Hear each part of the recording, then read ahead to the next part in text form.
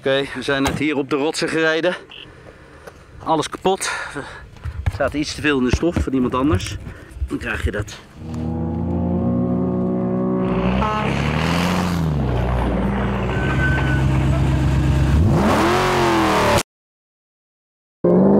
Let op de camera! Dat weet ik toch niet. Ja, die doet het niet meer.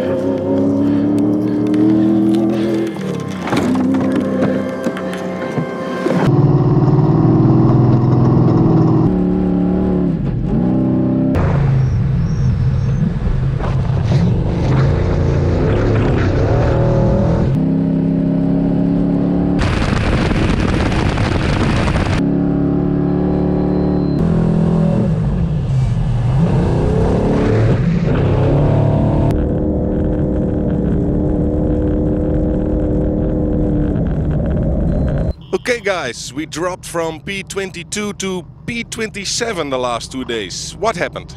Yesterday uh, we got punished 45, uh, 40 minutes because uh, we missed the waypoint. I think with 100 meters.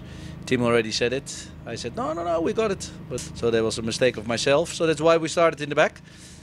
We had a good rhythm, I think. Huh? Yeah, yeah, we were flying. There were a lot of chicanes in the desert, so uh, we passed them all.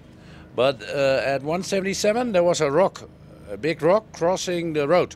Yeah, quite fast. Yeah. It came from the right and it was walking to the left.